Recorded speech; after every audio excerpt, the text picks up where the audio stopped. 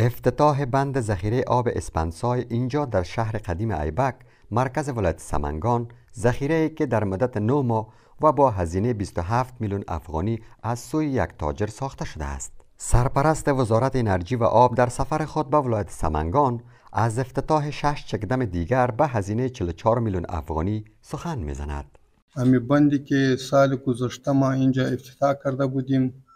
الحمدلله او به تکمیل رسیده و دوم این که از بودجه امارت اسلامی افغانستان و از طرف وزارت آب و انرژی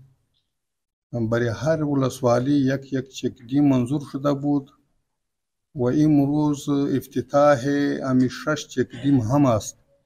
به گفته مسئولان با افتتاح این ذخیره آبی از سیلاب های موسومی در شهر قدیم سمنگان جلوگیری شده و آبهای زیرزمینی نیز تقویت و کاروبار دهاقین رونق بیشتر خواهد یافت. هر ملک و منطقه را پس ملت و جامعه اونمو ملک و ملت اگر آباد نکنه کسی دیگر خانه کسی را آباد نمی‌کنه پس همی اساس هست واجی صاحب محترمی که در اینجا با مبلغ 27 میلیون افغانی که اینجا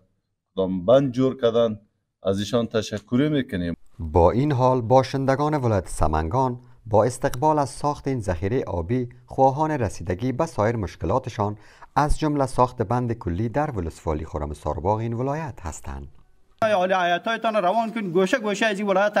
بگردین. اگر مشکلاتی مردم ها ببینین خودتان میگین که اگر از توانتان باشه از جیب شخصی تان میگین بین سربند آب کلی بسته شود ایرا جدی خواهش ما شما جناب عالی جناب است که در این راستا بسیار یک توجه عمیق داشته باشین که باید در بودجه گرفته شود. با وصف که مردم اگر تعدادش غریب فقیر است و این همت داره سروی ابتدایش ما به دوش می‌گیریم. این ذخیره آبی در شهر قدیم ایبک مرکز ولایت سمنگان در حال ساخته می شود که شمار از شهروندان در حومه شهر ایبک از عدم دسترسی کامل به آب آشامیدنی صحی شکایت دارند.